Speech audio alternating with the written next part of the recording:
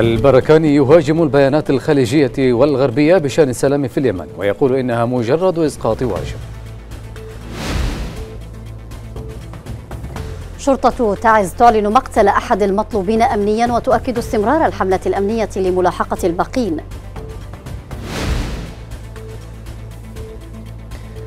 منظمتان حقوقيتان تطالبان بفتح تحقيق في وفاة أسير بسجون ميليشيا الحوثي جراء التعذيب.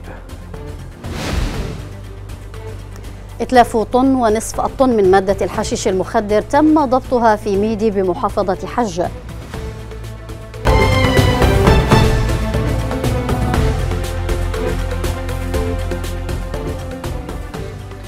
أهلا بكم إلى نشرة الأخبار التي يقدمها لكم هشام الزيادي. ونضال الشبان. إذا بحث وزير المكتب السلطاني العماني سلطان النعماني مع مساعدة وزير الخارجية الأمريكي لشؤون الشرق الأدنى باربرا ليف جهود حل الأزمة اليمنية. وقالت وكالة الأنباء العمانية إن اللقاء ناقش عددا من القضايا على الساحتين الإقليمية والدولية من بينها أزمة اليمن. وقالت المسؤولة الأمريكية في تصريحات للوكالة إن دور سلطنة عمان محوري في دعم المساعي لتحقيق الأمن والسلام في المنطقة مؤكدة على دور الجهود العمانية لحل الأزمة اليمنية. وتستضيف مسقط مكتبا للحوثيين منذ سنوات وتقوم بجهود المفاوضات بين الحوثيين من جهة والحكومة الشرعية والسعودية والمجتمع الدولي من جهة أخرى.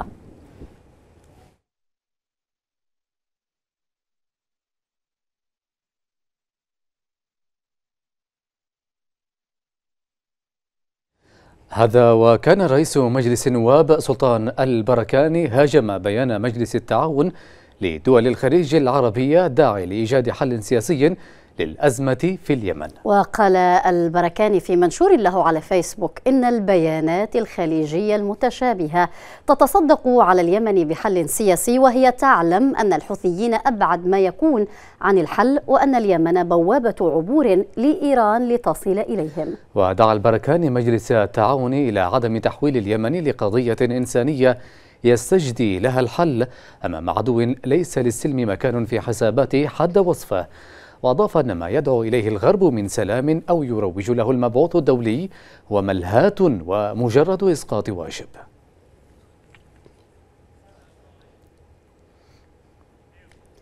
هذا وكان الأمين العام لمجلس التعاون لدول الخليج العربية نايف الحجرف.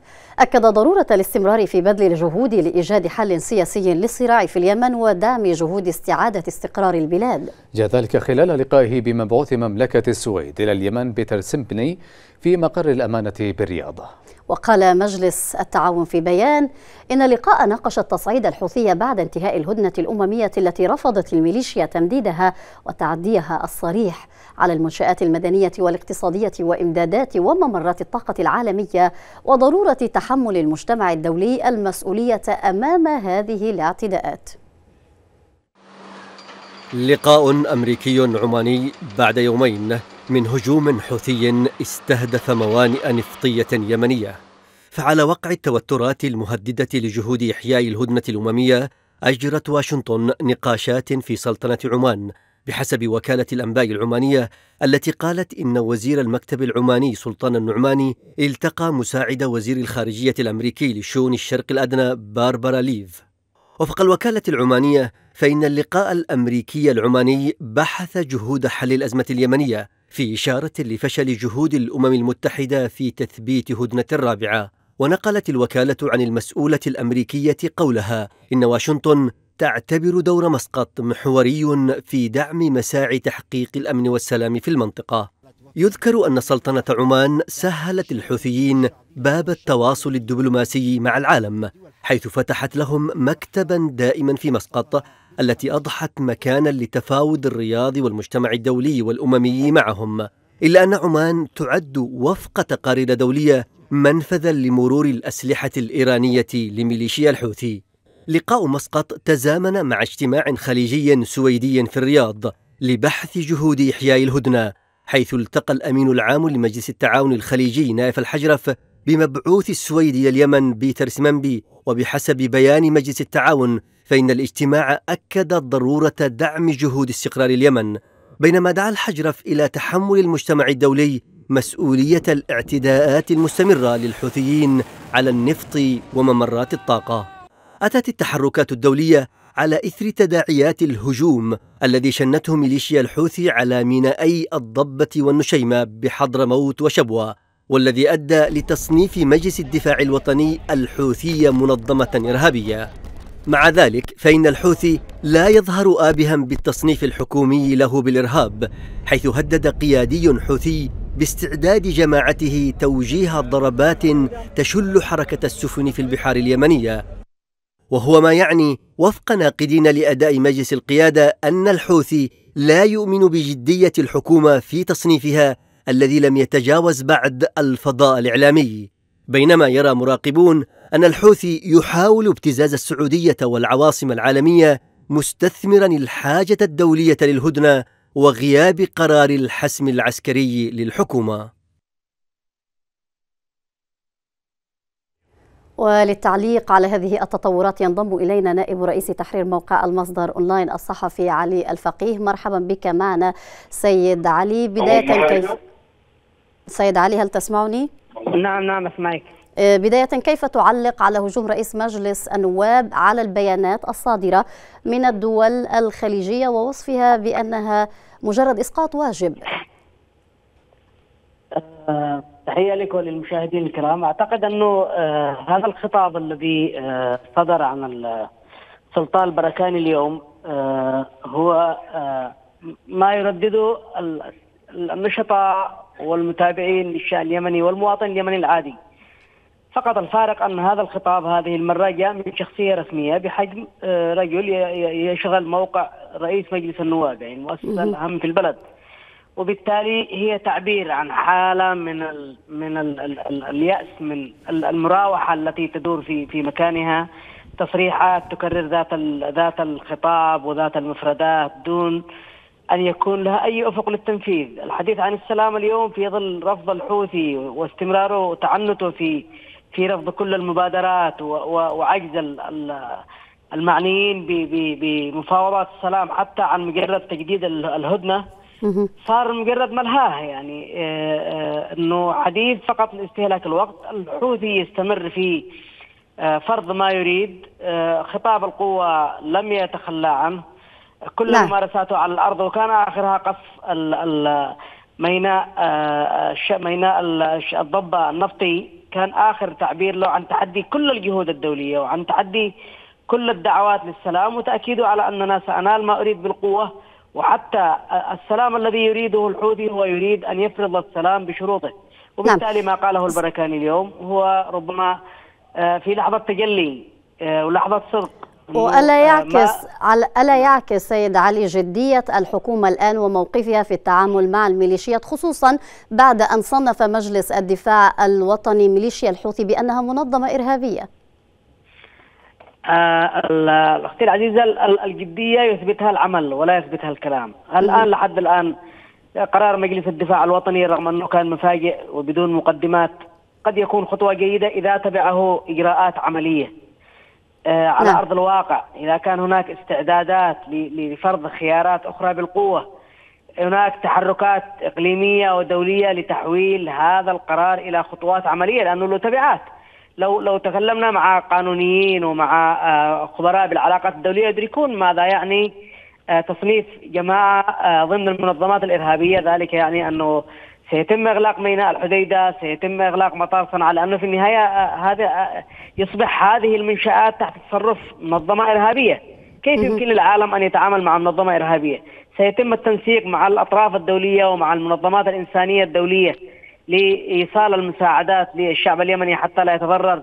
خطاب البركاني اليوم لن يكون له معناه ما لم يكن هناك تحركات تالية نشاهدها من خلال إقناع الخليجيين بتغيير مسار الأداء بتقديم دعم حقيقي وملموس للجيش اليمني بتحرك من الحكومة اليمنية ذاتها وبالتالي نفهم من حديثك سيد علي بأنه سيتم تجاهل هذا التصنيف من قبل هذا المجلس ومن قبل الحكومة الشرعية وسيتم التعامل مع الحوثيين كما تم واستجداء تمديد هذه الهدنة وسيستمر الحديث عن المسار السياسي. من خلال متابعة الصمت الدولي الآن تجاه قرار آه، مجلس الدفاع الوطني الذي صنف ميليشيا الحوثيين كمنظمة إرهابية إلى الآن من خلال متابعته لم يصدر أي رد فعل دولي وبالتالي آه، آه، يبدو أن هناك محاولة لتجاهل أو تنسيم هذا تنسيم هذا القرار لأنه ربما يكون حتى اتخذ دون حملة عملية تمهيد لأنه يفترض يتم التواصل مع الأطراف الرائية لعملية السلام في اليمن والدول المؤثرة في الشأن في القرار اليمني حتى نعم. يكون هناك تقبل لقرار من هذا النوع وإيجاد معالجات لأنه كما تحدثنا أنه آه، عندما آه، أخرجت ميليشيا الحوثي من من آه، قوائم الإرهاب امريكيا كان ذلك تحت دواعي إنسانية بأنه تصنيف الحوثيين كمنظمة إرهابية من قبل حكومة الولايات المتحدة الأمريكية جاء إخراجها من ذلك التصنيف بعد أسابيع نعم. قليلة فقط. وكان المبرر أن العملية الإغاثة والعمليات الإنسانية في اليمن ستتضرر. اذا نعم. أخرجوها من قائمة المنظمات الإرهابية وكذلك سيتم التعامل مع هذا القرار بنفس الطريقة وبالتالي الحكومة محتاجة إلى إلى تحرك عملي إلى إجراءات عملية على الأرض محتاجة إلى يعني استنفار آه، آه، الجيش والقوات المسلحة التي إلى الآن لم توحد ولم ولم آه، تصل اللجنة العسكرية التي شكلت من قبل مجلس القيادة لأي النتائج وبالتالي هذه التصريحات سنعتبرها مجرد إشارات فقط وضحت ما لم تتبعها إجراءات عملية ترجمها إلى إلى خطوات ملموسه. أشكرك جزيل الشكر نائب رئيس تحرير موقع المصدر أونلاين الصحفي علي الفقيه شكرا لك.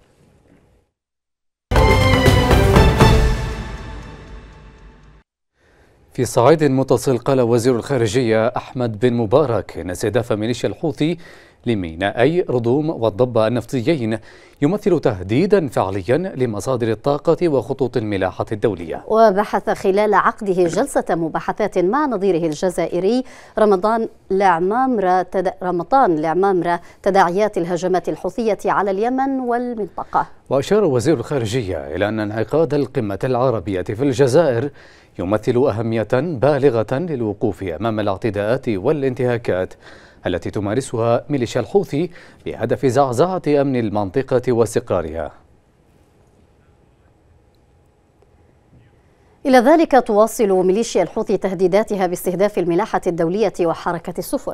وقال القيادي الحوثي محمد البخيتي إن عملية استهداف ميناء الضبة النفطية بحضرموت كانت تحضيرية وأن العملية القادمة تستهدف السفن مباشرة حتى تتوقف عن نهب الثروات حد وصفه وسبق أن استهدفت ميليشيا الحوثي السفن في خط الملاحة الدولية ونشرت ألغاما بحرية بشكل عشوائي وقوارب مفخخة في البحر الأحمر إضافة إلى إطلاقها الصواريخ من السواحل القريبة.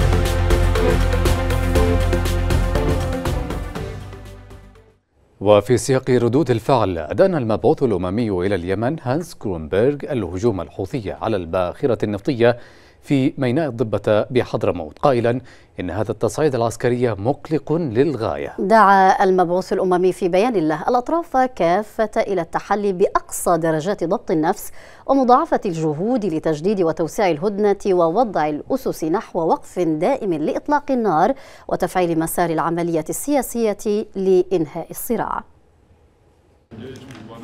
على سبيل تسجيل الحضور إلى الموقف يخرج المبعوث الأممي بتصريحات جديدة عن الوضع اليمني. لا تحمل أي من المضامين التي يمكن البناء عليها في مسار الأزمة اليمنية المعقدة. تتطور الأحداث وتكشف الميليشيا عن وجه جديد من خطورة بقائها كجماعة إرهابية تستهدف المصالح الاقتصادية للبلاد وتهدد إمدادات الطاقة وطرق التجارة الدولية. وجه لطالما تم التحذير منه ومن انعكاساته لكن التدليل الأممي كان غالبا على التعامل معها. باستثناء الإدانة والدعوة لضبط النفس لم يقدم هانز جروندبرغ أي جديد. وفي ذلك يرى الرجل أن مهمته تقتصر على الوساطة وتقديم المقترحات وليس من عمله إلزام أي طرف بشيء بينما الواقع أن الضغط الأممي دوما ما كان قويا ومسلطا على الحكومة. بل إنه استخدم بشكل سلبي وكان له أثر ملموس في إطالة أمد الحرب. من يتبنون هذه الرؤية يستدلون على ذلك بالمساعي المستميتة للأمم المتحدة للحفاظ على اتفاق ستوكهولم الخاص بالحديدة والذي لم ينفذ منه سوى إيقاف عملية التحرير وإبقاء السيطرة المالية والميدانية الحوثية على الموانئ. كما أن الاتفاق حسب رؤيتهم وفر غطاء لتحركاتهم العسكرية وإعادة انتشارهم خارج حدود المدينة. في شان آخر أفادت مصادر محلية أن قوات الانتقالي المدعومة من السعودية والإمارات اختطفت خمسة أشخاص بينهم أطفال من محافظة شبوة جنوب شرق اليمن. قالت المصادر إن مسلحي الانتقال دهموا منازل مواطنين في مدينة عتق مركز محافظة شبوة واختطفوا خمسة من أسرة آل لقور بينهم أطفال. وتشهد شبوة انفلاتا أمنيا وحملات مداهمات منذ سيطرة العناصر المدعومة من التحالف السعودي الإماراتي على المحافظة منتصف أغسطس الماضي. من جهتها أعلنت قوات تابعة للمجلس الانتقالي المدعوم من التحالف السعودي الإماراتي إطلاق سراح 14 أسيرا من القوات الحكومية شاركوا في معارك بمحافظة شبوة. وأفاد بيان صادر عن قوات دفاع شبوة التابعة للمجلس الجنوبي أنها أفرجت عن 14 أسيرا من أبناء المحافظات الشمالية بتوجيهات من المحافظ عوض بن الوزير. أشار البيان إلى أن هذه الخطوة تعني الإفراج عن جميع الأسرى المعتقلين ولم يصدر تعليق من قبل الحكومة حول الأمر. وفي أغسطس الماضي سيطرت قوات المجلس الانتقالي المدعوم من السعودية والإمارات على شبوة بعد معارك مع القوات الحكومية.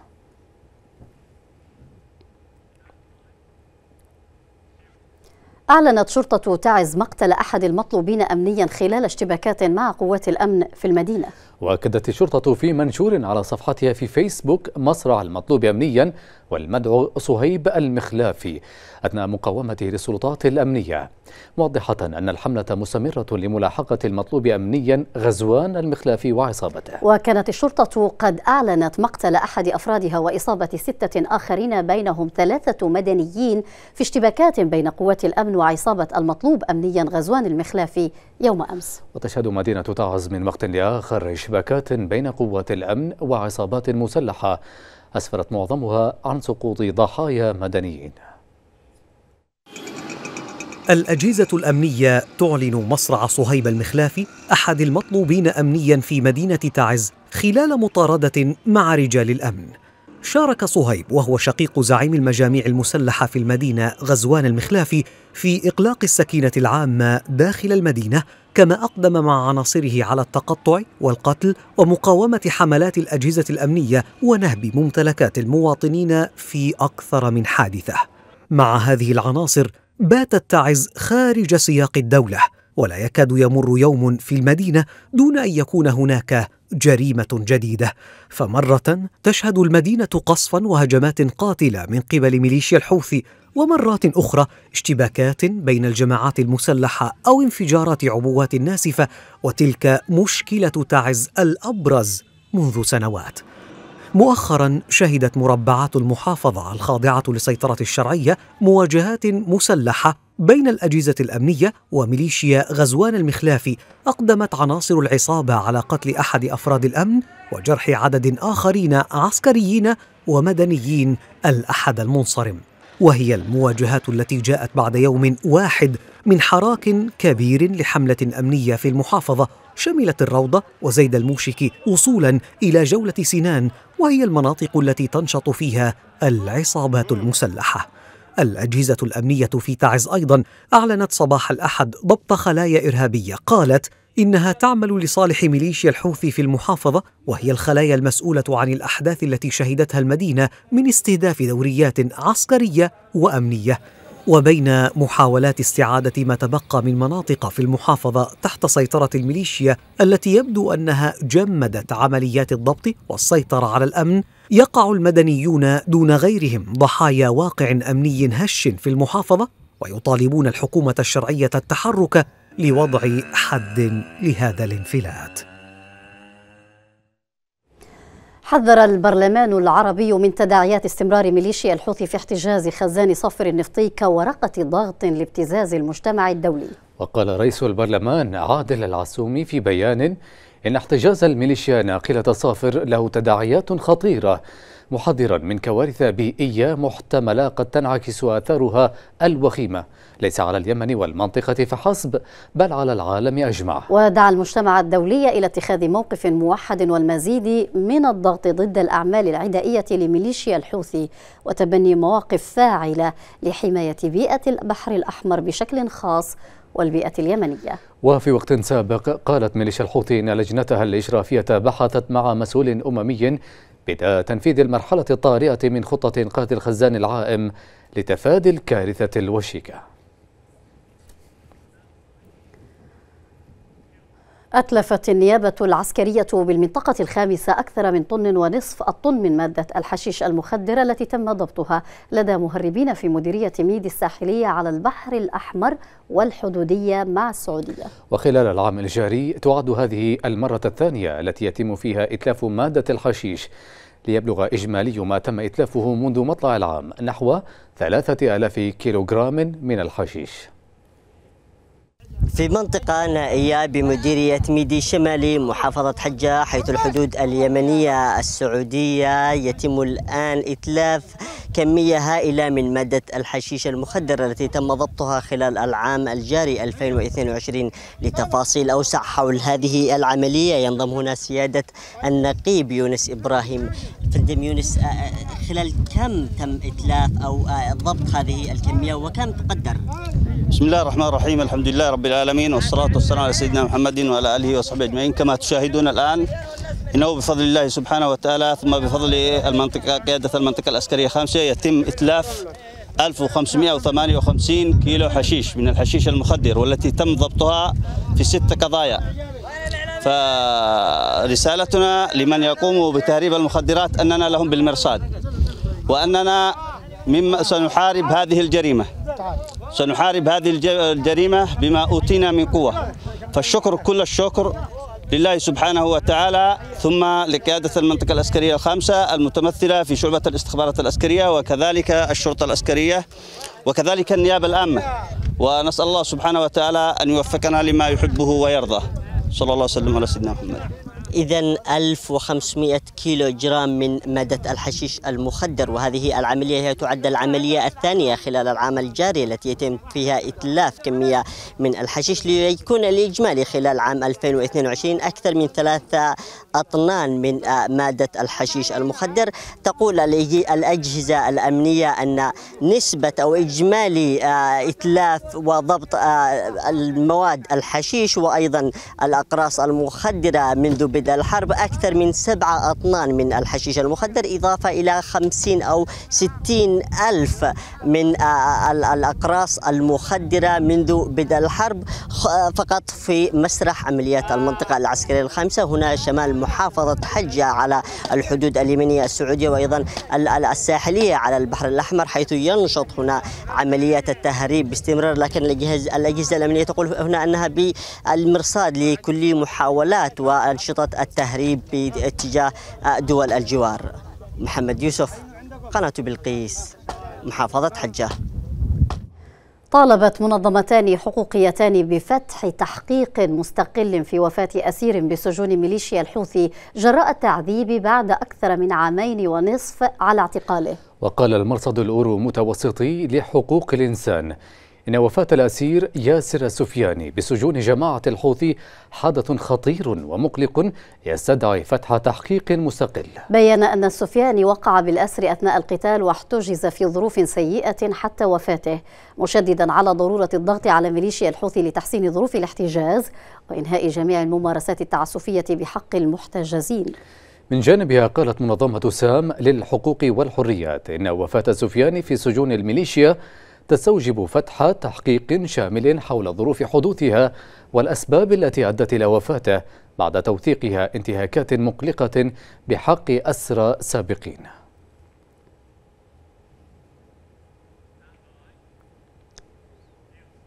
في ذات السياق اختطفت ميليشيا الحوثي صحفي وناشطين في محافظة إب الخاضعة لسيطرتها. وقالت مصادر محلية إن الميليشيا اختطفت الصحفي الرياضي ماجد ياسين والناشطين مراد البنا وخالد الأنس على خلفية تناول الأول إحالة مديرة مجمع السعيد التربوي للتحقيق عقب فعالية احتفائية بذكرى ثورتي سبتمبر وأكتوبر.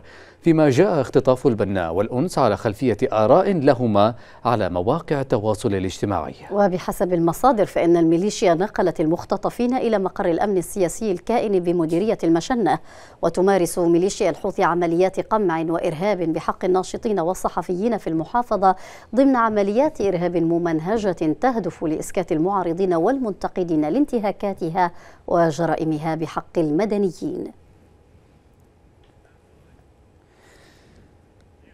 في إب أيضا توفي موظف حكومي في المؤسسة العامة للكهرباء جراء تعرضه لصعقة كهربائية. وبحسب المصادر فإن الموظف عبد الفتاح الوصابي توفي أثناء تأديته عمله في منطقة سوق الجبري بمديرية المشنة. ووفق المصادر فإن مالكي المحطات التجارية يقومون بالتوصيل العشوائي مستغلين الفوضى الأمنية في الوقت الذي لا تتم فيه مراعاة جوانب السلامة المهنية. طالب موظفون في مؤسسة الكهرباء بإحالة مدير المنطقة التي وقعت فيها الحادثة للتحقيق والمحاسبة لعدم صرف أدوات السلامة المهنية للفنيين والمهندسين العاملين في الميدان.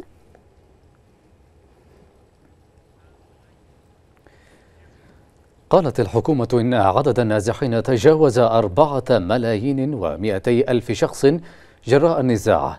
يقطن أغلبهم في 638 مخيما بمناطق سيطرتها. لفت رئيس الوحدة التنفيذية نجيب السعدي إلى أن أعدادا كبيرة من النازحين عادوا إلى مناطقهم لكنهم يفتقرون لأدنى الخدمات ويواجهون مخاطر الألغام والعبوات وغيرها من مخلفات الحرب. وحذر السعدي من مخاطر تفاقم أزمة احتياجات النازحين بسبب نقص الدعم المقدم من الممولين وغياب شفافية العمل من قبل المنظمات الدولية. وقال إن موجة النزوح الكبيرة سببت إشكاليات ضغط على الخدمات في المناطق والمحافظات التي تستضيف النازحين.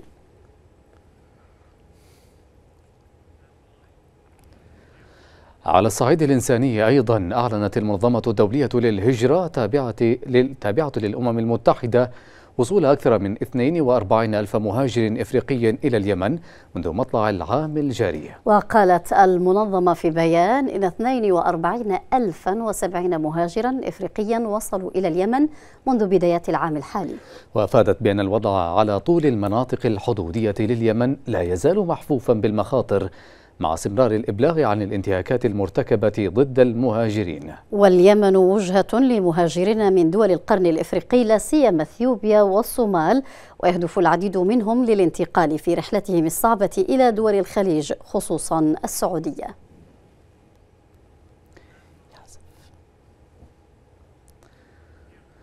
تشهد الجامعات في اليمن تراجعا ملحوظا في إقبال الطلاب عليها.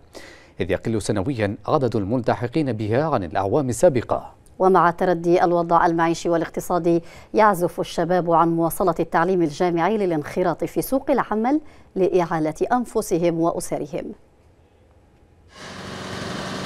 ترك التعليم مجبرا للبحث عن فرصة عمل توفر له مصدر دخل ولأسرته التي تأثرت جراء تدهور الوضع الاقتصادي في البلاد.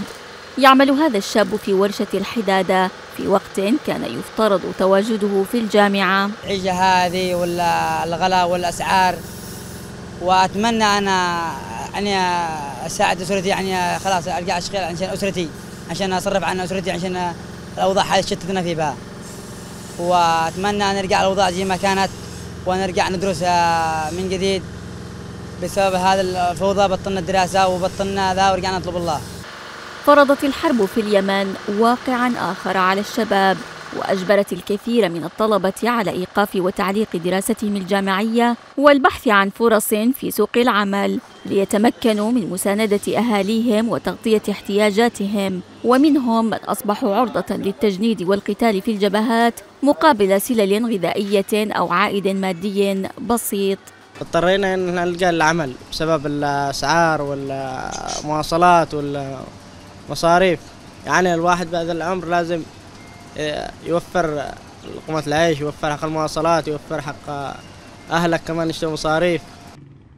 في كل عام تشهد الجامعات تراجعا ملحوظا في إقبال الطلبة إليها عن الأعوام السابقة وأصبح الالتحاق بها شبه مستحيل للكثير من اليمنيين بسبب عجزهم عن توفير تكاليف الدراسة. لاحظنا انخفاض كبير في عدد الطلاب الملتحقين بداخل الجامعة خاصة في ثلاث كليات رئيسية وهي كلية التربية وكلية العلوم وكلية الآداب. حيث لمسنا هذا الانخفاض ووجدنا أنه توجد مشكلة حيث أن عدد الطلاب في السنوات الماضية الملتحقين في جامعة تعز في حدود 7000 والسنة هذه لم يتجاوز العدد أكثر من 4500 طالب وطالبة. في محاولة لمعالجة عزوف الشباب عن التعليم. أقدمت بعض الكليات بجامعة صنعاء على خفض معدل القبول ليصل في الكثير منها إلى 60% إلا أن تلك الإجراءات لم تفي بالغرض. اضطرت كليات أخرى إلى إلغاء اختبارات القبول ككلية التجارة والاقتصاد التي لم تصل إلى طاقتها الاستيعابية على الرغم من تمديد الفترة أكثر من مرة. استمرار عزوف الشباب عن التعليم في البلاد. يخلق جيلا غير مؤهل لسوق العمل. الأمر الذي يساهم في مفاقمة البطالة في بلد لم يعد سكانه يتحملون مزيدا من المعاناة. وصلنا إلى ختام هذه النشرة. هذا تذكير بأبرز عناوينها. البركاني يهاجم البيانات الخليجية والغربية بشأن السلام في اليمن. ويقول إنها مجرد إسقاط واجب. شرطة تعز تعلن مقتل أحد المطلوبين أمنيا وتؤكد استمرار الحملة الأمنية لملاحقة الباقين. منظمتان حقوقيتان تطالبان بفتح تحقيق في وفاة أسير بسجون ميليشيا الحوثي جراء التعذيب